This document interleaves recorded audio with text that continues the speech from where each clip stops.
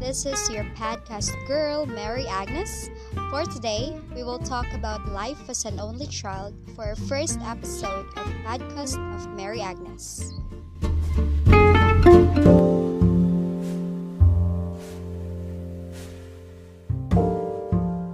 Many will definitely love being the only child of their parents. You will live your life all the things that is only for you. For me personally, I can relate to this one, for I am an only child. I don't have a sibling and I grew up in a broken family. I only have my mother, but unfortunately, she's not with me physically.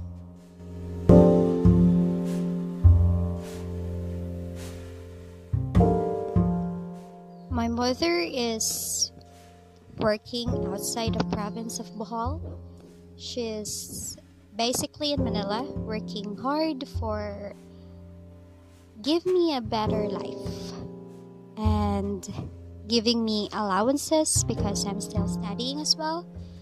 But what makes me sad is that I missed him so much yet I don't have anyone to talk about it.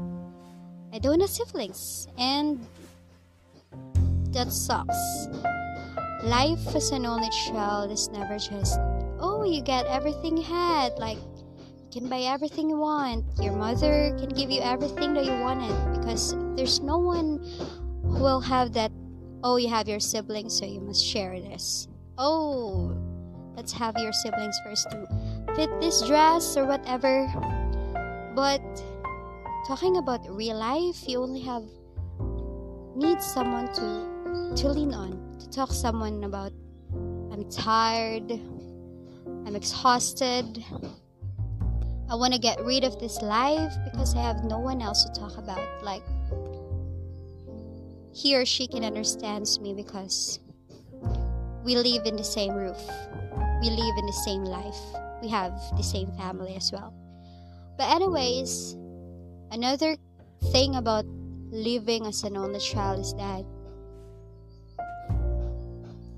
aside from you don't have anyone to lean on when you have problems.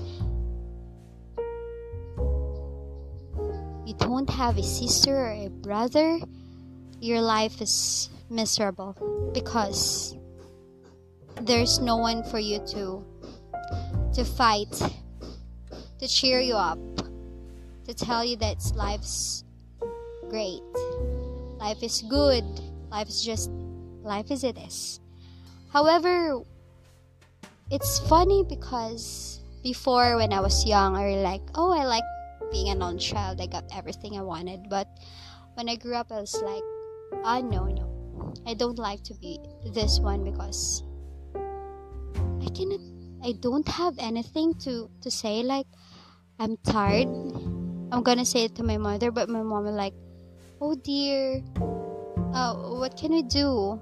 But when my friends would tell me, oh, I tell my sister about how tired I am at school, and it just she just gave me a cheerful word or an advice or like, oh, that's fine. I'm still proud of you. I I definitely hear it with my mom, but I just wanted to have someone like who understands my feeling because she has also been gone through with the things that I've been on or I've been living. I've been in process or I've been experiencing.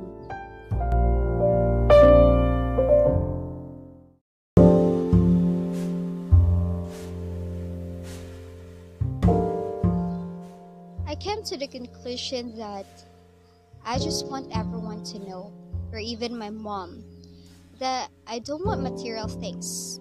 I want full attention. Growing up, that you seek for attention to everyone because you don't feel that ever since. You live your life forcibly feeding yourself to the family that isn't yours. You're in Viva, you just give it yourself. I also want everyone to know to let us stop this stereotype that living as an only child is always great and beautiful. There are times we want a sibling, or we want siblings to go crazy and cry for no reason. We don't want materials. Most of us we want attention, love, and care.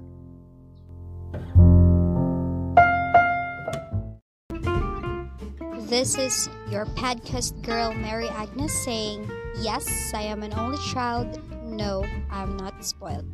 Thank you, and see you, loves, on my next podcast episode.